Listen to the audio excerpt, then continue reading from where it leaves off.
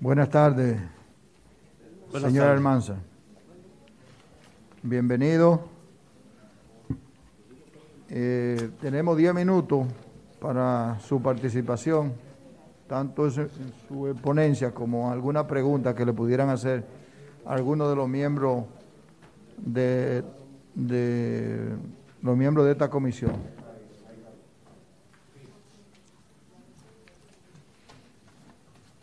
Bien, buenas tardes. Realmente es difícil en cinco minutos no poder eh, resumir todas las propuestas y toda la experiencia que uno tiene en derechos humanos. No, solo- no son 5 minutos, sino hasta 10. Sí. Muy bien. Bueno, pero el poeta Horacio decía Parque 10, vamos a aprovechar el tiempo. Virgilio Félix Almanzar Estrella, santiaguero, hijo de un policía que muere en servicio el 12 de enero de 1972 y de una modista. A raíz de eso yo quedé con cinco hermanos y tuve que hacerme obrero de la cementera para poder ayudar a mi familia y seguir trabajando. Ya estudiaba en la universidad y había tenido que parar mis estudios. Luego los terminé en educación. Fui seminarista, de luego en el Colegio Anteramonta y después estudiante de la UAS, dirigente estudiantil allá. Eso me obligó a mí a tener que estudiar otras cosas, política, economía, sociología, hasta sindicalismo. Eh, fui de los fundadores co- como colaborador de la Central General de Trabajadores CGT. Fui también dirigente gremial del ADP de la zona donde yo trabajaba, en el Liceo General Antonio Duberrín, en el Colegio Anteramota. Y también hoy soy dirigente de la Central Autónoma Sindical Clasita CAS. Y dirigí una institución privada, se llamó IMOC, Instituto Movimiento Obrero y Campesino, que la dirigí hasta que perimió su proyecto.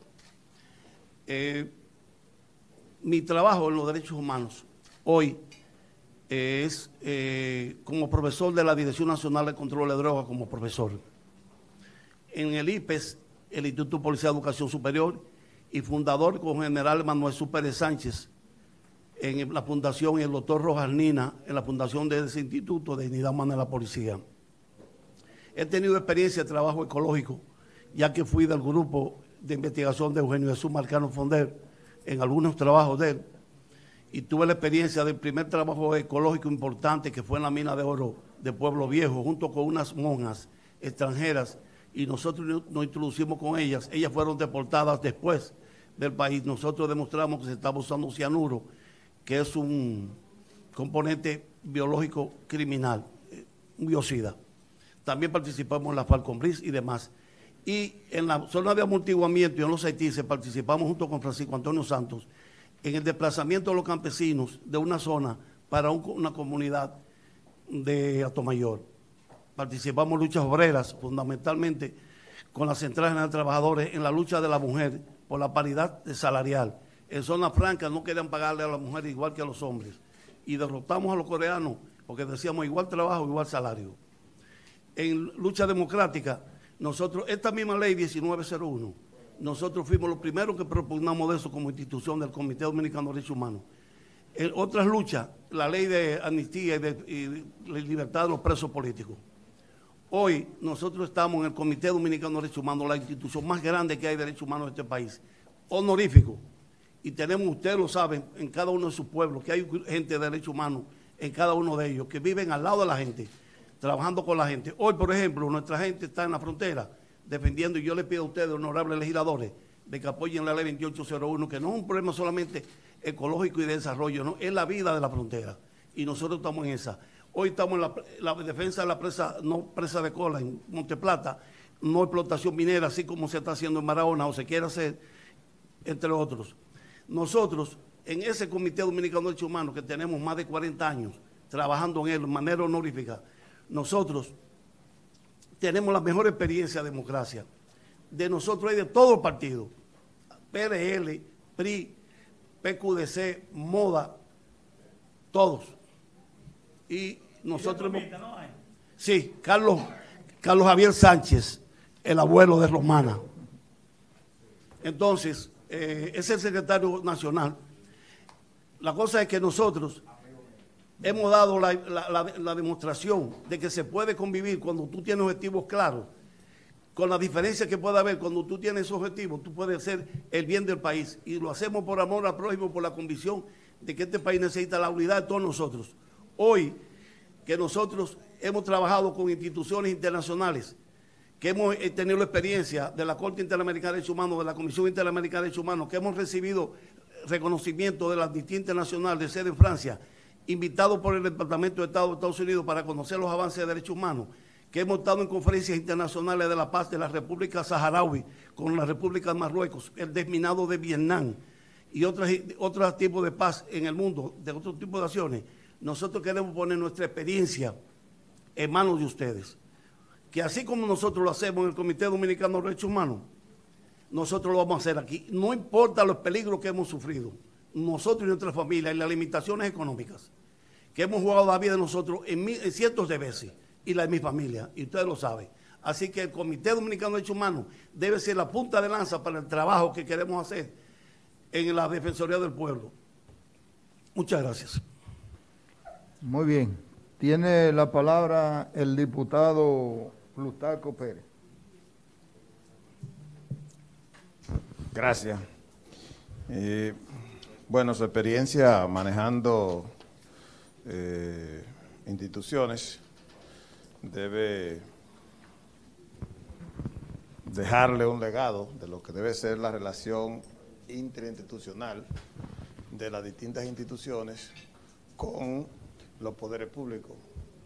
Y en el caso del defensor del pueblo, ¿cuál usted cree que debe ser la relación que debe llevar el defensor del pueblo con los poderes del Estado y principalmente con el Poder Ejecutivo?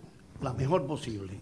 Este es un momento de unidad. Cuando hay crisis como la que tenemos en el mundo y en el país, nosotros tenemos que entender de que si no es con unidad no vamos a avanzar.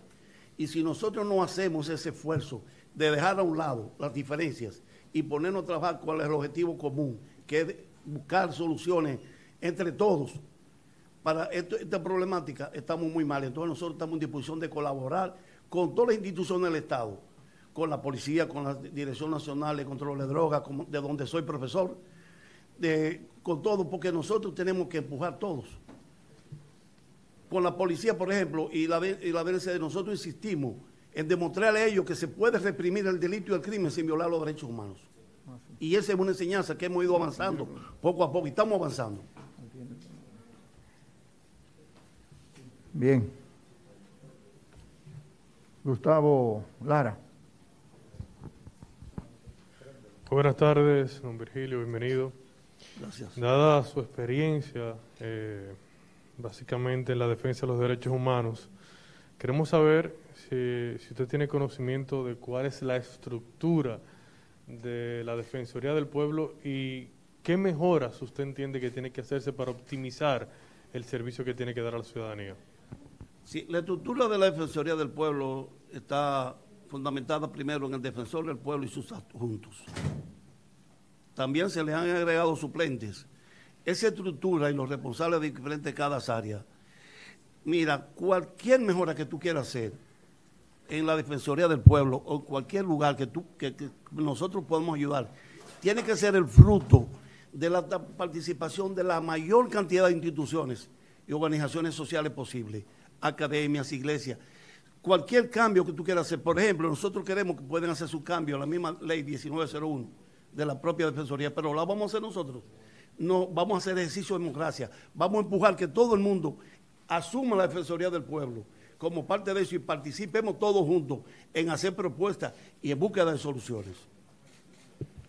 Muy bien. Ah, el diputado Dionisio, Juan Dionisio, por favor. Buenos días, Virgilio. Gracias por estar aquí. Eh, ¿Tiene algunas ideas o ha elaborado alguna de las propuestas que tú entiendes que debe de contener una posible modificación a la ley 1901? Bueno, mira, hay, todas las ideas están escritas y están trabajadas. Por ejemplo, nosotros nos gustaría que si estamos en plena democracia y queremos empujar la democracia, ¿por qué no el, defensor del pueblo no lo elige el propio pueblo? Eso no es em, empujar la democracia, eso no es ampliar el marco de la participación de la gente. Pero nosotros tenemos que suscribirnos a lo que es la ley hoy, pero podemos participar en esa. Esa es una idea. Nosotros tenemos otra idea, es el Ministerio de, la Mujer puede convertirse en el Ministerio de la Familia, porque también hay problemas con los hombres y con los hijos y demás. ¿Por qué no en la parte privada y en las instituciones del Estado no se obliga a que una determinada cantidad de por ciento de la no sea de grupos minoritarios, de grupos de, de, de- de minusválidos, de personas que tengan, de de obligarlo que si hay tantos así, po- podemos poner un 5% como hay instituciones en el mundo entero. Un recesionista puede ser una persona sin piernas o una persona no vidente. Y esos son tipos de cosas que podemos hacerlo, pero también hay otras que deben mejorarse que tienen que ver con el problema del medio ambiente. Muy bien, eh, agotamos el tiempo de los 10 minutos. Muchas gracias por participar y le deseamos éxito. Muchísimas gracias.